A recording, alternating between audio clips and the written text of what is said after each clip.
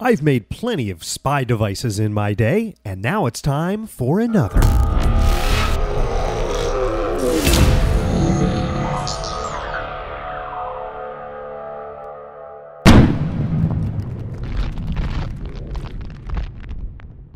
I found one of these spy gear toys at a garage sale and decided to pick it up. This one uses a plastic dart that has a sticky piece on one end, and it's also removable. And on the other end of the dart is a microphone. The other part is the receiver, and it's got what looks like a slingshot on one end. The idea is to shoot the dart and have it stick on a wall. One problem with this is this obvious dart doesn't make a good spy device, plus, it doesn't stick. So I tried the suction cup end, and it doesn't stick either. So I thought the first thing I could do to make this better is to add this personal sound amplifier. That'll give a strong boost to our signal. So I began by taking apart the receiver. I removed the screw that held the battery cover in, and all the other screws, and then a couple of small clips held it in place, and I pried it open. It's pretty basic inside with the receiving circuit board and a little speaker. More screws to remove now on the circuit board as we remove that and cut the wires going to the battery pack and also cut those speaker wires because we're not going to use a speaker for this. Now we've got our first component, the receiver. And what's cool about this is it actually has a headphone jack, which is what we need in order to spy. Now onto our little microphone dart. So we're going to remove a screw for that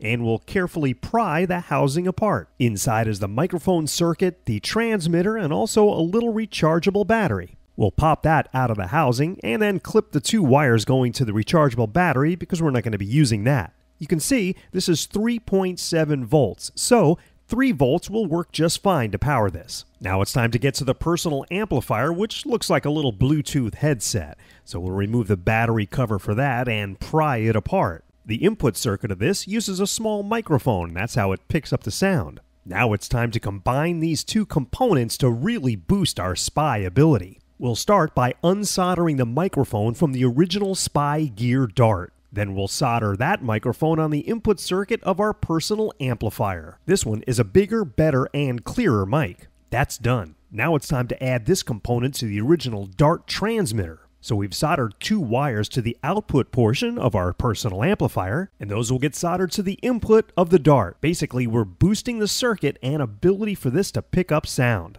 These two components will fit real well together, but now we need some power. So for that, I'm going to use a single 3 volt battery and holder. After hooking up power, you can see as we fire up the personal amplifier, it's ready to go. I stuck some electrical tape on the one board because when I put these together, I don't want to have a short circuit. I zip tied them together and our transmitter is ready to spy. We also need power for the receiver, and I'll be using a twin AA battery holder for that. We wired that in and it's up and running. We're almost done. After cutting the original speaker wires, I applied some hot glue to the back of the board and attached the battery holder to that. Now we have one slick component. Now, I thought about what I could put the transmitter in that wouldn't be messed with. No one would ever touch a disgusting roach trap, so that's what I'm going to use. I was always curious to see what was inside of these anyway, so I peeled off the label and using an X-Acto knife I cut away at the plastic. Inside is this brown goop that apparently attracts roaches and then later kills them, so I'll toss that.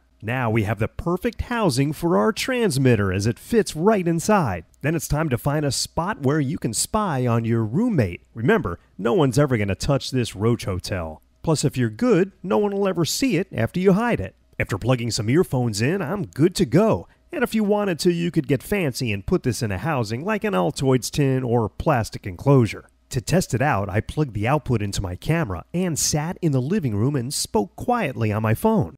I have to be careful what I say, because I'm sure Kip K has this place bugged. Works like a charm. So that's how to spy on your roommate.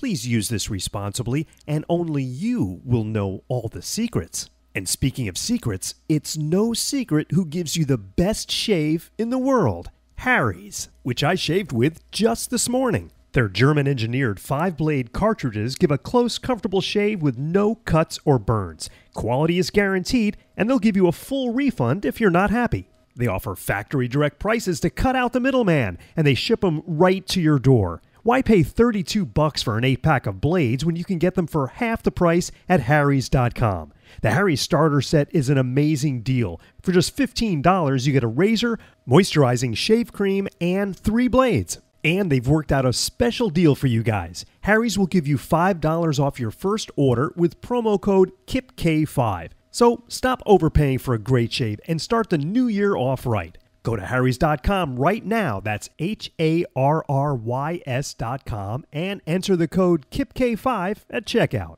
Click on the link below to start a new shaving experience. Thanks for watching, and we'll see you next time.